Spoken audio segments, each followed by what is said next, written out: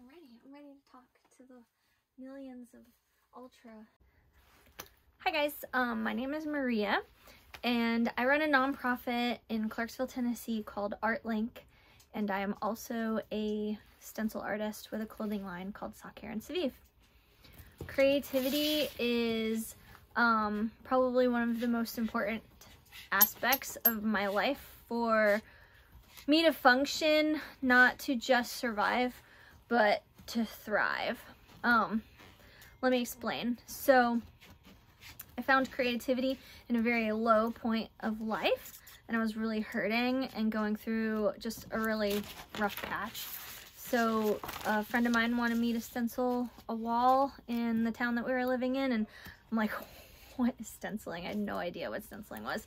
So I give it a shot and they just showed me this really unique creative outlet where I cut out a design on this certain kind of paper. At the time, we just did it on cardboard. And then you go out to this wall and you spray paint this design. And when you peel that design back, it's revealing the coolest thing. And um, I think because it has multiple layers, has multiple facets, it just started peeling the layers of my pain and what I was going through away as well. So going through all of that and having that creative outlet truly helped me through a really stressful time in my life, a really chaotic time in my life, and I know that it can help somebody else as well. Thing is, for me, I have a really hard time focusing, and I found that my creative outlet has multiple facets, but one of them helps me with focus. So I'm a stencil artist, so that means I cut out stencils. And the most, like, I guess, therapeutic and revitalizing aspect of it for me is having the ability to focus my mind on just one thing.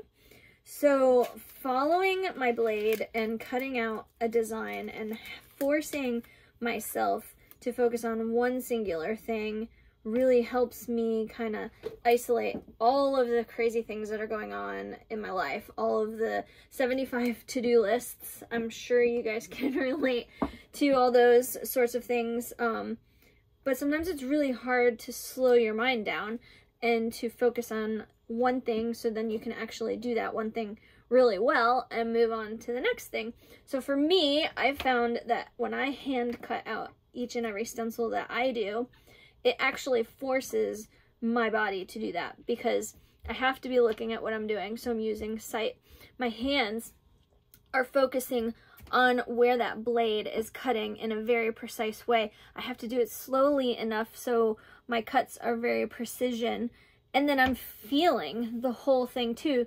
So I'm using multiple senses on one isolated thing, which forces your brain to slow down get rid of all of the mumbled mess around and to kind of just really get something that you wouldn't normally get on your normal everyday to-do list because you're now able to focus on something in an isolated manner. So it's just one aspect of my creative outlet that helps me kind of be more productive because if I can slow my brain down and do one isolated thing like that, I now can move on to the next thing and have a bigger, larger scale perspective on it because I've been able to kind of control my mind and my thought process and my focus in that way. So every stencil, like I had showed you, um, is hand cut out. After the design is hand cut out, I get to paint it on a shirt. This is actually the funnest part for me. Um, my mind is kind of fresh and clean and I get to actually just kind of take the paint and let the colors do their thing and kind of have a lot of fun with colors. There is no rhyme or reason to it. There are no rules. That's another cool thing about having a creative outlet. You're not inside a little box forcing you to have to color in between the lines.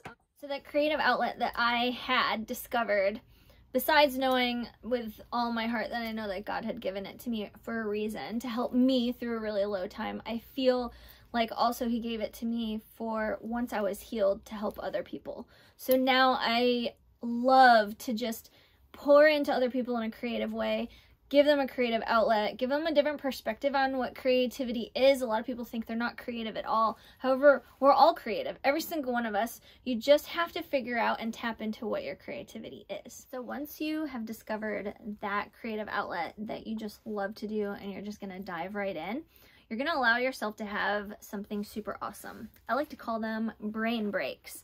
So we all want to be more productive at work. We all want to be less stressed, all of those sorts of things, right? Well, good news. Your creative outlet is the ultimate source for that. Dive into your creative outlet and you will not only have a brain break, but you will de-stress your life in multiple ways and you'll be more productive at work. Like everyone wants to be more productive at work, especially your boss, right? And no better way to be more productive than if you give your brain the ability to be more productive. You dive into your creative outlet, it's going to de-stress and defog all of the things that you're thinking through because now you've been able to revitalize and rejuvenate. So then you can go back into your work zone and you can be as productive as humanly possible. So, so tell your boss I said, you're welcome. all right.